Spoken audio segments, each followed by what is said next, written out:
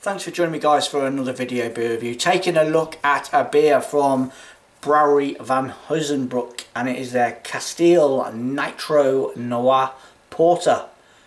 Coming in at 5.7% ABV. Never ever seen anything like that before um, from these guys. I mean Kasteel needs no introduction does it? I mean they make some absolutely corking Belgian old school beers. Um, so yeah, a porter and a nitro porter in a can. I mean, it's going against the grain of tradition now a little bit, but we're going to give it a bash. Do I stick it in that? Do I take the gamble of a nitro beer and put it in a Kasteel glass? Fuck it, let's do it. So it says here, um, instructions. Could go terribly wrong, this could. This glass holds out. Right, shake gently and tilt. Let's go for it. I will get a pint pot on standby just in case. Here we go. Wish me luck.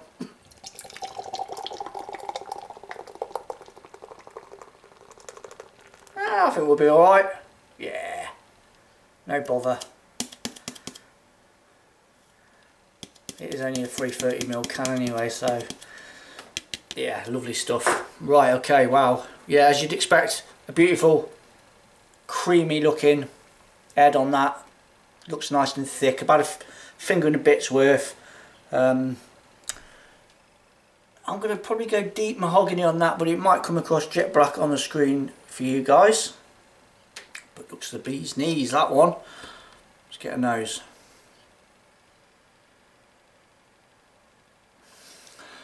Nice little bit of roastiness and a lovely whack of coffee.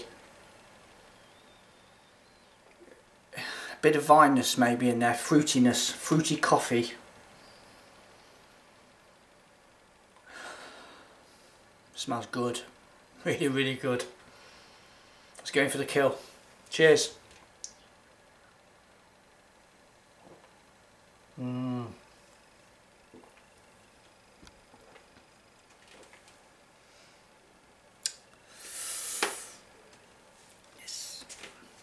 Another winner.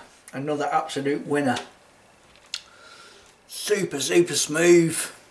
Pop. It's like pop.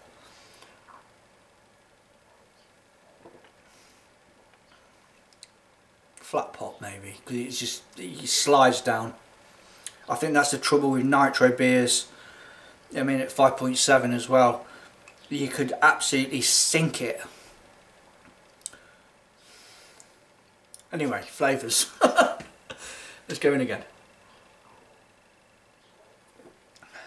A little bit like from what I got off the nose to be fair. Fruity coffee. A little bit roasty. Yeah, you got like a, a really nice sort of forward pushing sort of berry tone in there. Red berries maybe. Mixed in with a lovely roasty, toasty milky coffee. Sweet milky coffee. It's got a nice sweetness in there. That's, that's really really good. It's I'm, I'm going to say relatively new.